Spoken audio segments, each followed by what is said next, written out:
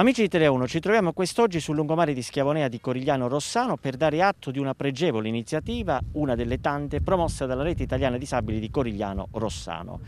Riappropriamoci della città, il primo di una serie di percorsi naturalistici che appunto hanno proprio l'obiettivo di favorire eh, la cultura dell'inclusione sociale e di riappropriarsi degli spazi pubblici, dei luoghi del territorio comunale.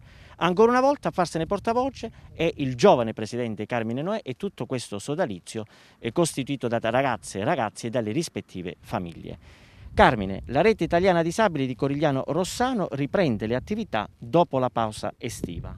Beh sì, caro Fabio, anche se quest'estate non ci siamo fermati un secondo,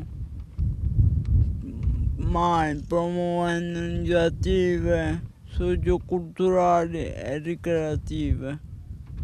Stiamo allestendo la nostra nu nuova sede a Schiavone e abbiamo un fitto calendario di, di appuntamenti in programma.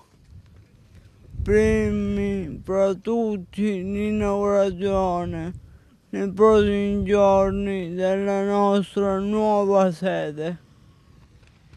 Carmine, Ancora una volta appunto siamo qui anche spesso per sopperire a dei vuoti istituzionali. Dal fronte dei rapporti appunto con l'amministrazione comunale si registrano novità? Beh, caro Fabio, tutto è come prima. Continuiamo a registrare l'indifferenza di questa amministrazione nei confronti dei, di, di noi disabili e dei nostri diritti, delle nostre istanze e delle necessità anche delle nostre famiglie. Au, auspichiamo risposte e chiediamo ascolto e non ci stancheremo mai di farlo. Onorevole Strafaccia, un messaggio appunto anche di speranza e soprattutto anche di condivisione su questi temi che sappiamo essere a lei molto cari. Ma intanto un plauso alla rete italiana disabili della città di Corigliano Rossano per la forza e la determinazione con cui sta cercando di mettere in risalto quelli che sono i diritti eh, di, diciamo, di, di questa parte di popolazione che merita particolare attenzione. L'iniziativa di oggi è un'iniziativa importante. Intanto le politiche di inclusione e di integrazione sociali devono dare lo spazio necessario da parte delle istituzioni. Da parte mia ci sarà tutta la predisposizione.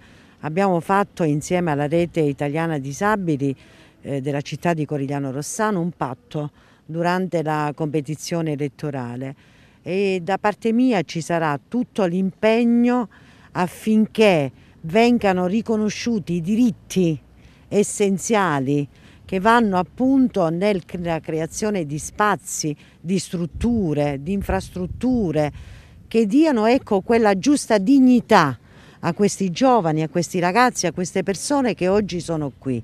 Quindi non appena ci sarà l'insediamento nel Consiglio regionale farò la mia parte rispetto a quella che appunto che deve essere l'attenzione verso questa categoria sociale.